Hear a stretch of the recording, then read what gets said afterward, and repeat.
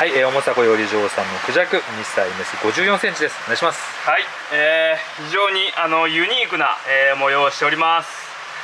お花畑のようなこのポンポン柄で、えー、4段ですかね。非常に面白いです。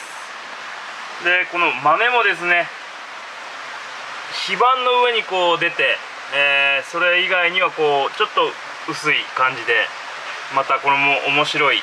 非常にユニークな一品のクジャクです。はい。またこう顔の作りもいいですね。そうですね。非常に大きな。ちょっとほっそりはしてるんですけれどもえー、っとこれがぐっと伸びやすい感じですね。はい。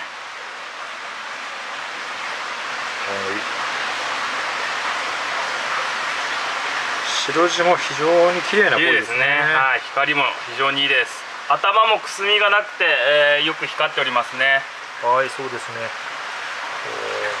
口の先まで真っ白です。はい、はい、はい、それでは横の方もお願いします、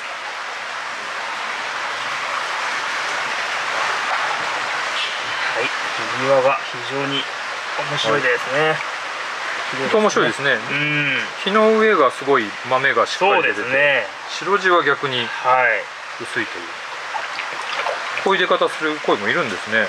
そうですね。なかなかこういうタイプはいないですけれどもこれは非常に珍しい一品ですね、はい、体全体にね薄いとか、うん、体全体に豆が濃いっていうのは言いますが。そうですね、はい、特徴的な鯉です。はい。ちょっと一風変わったように見えますね、うん、はい。いかがでしょうか、はい、顔も大きく白地のいい鯉です。ぜひよろしくお願いいたします。はいお願いします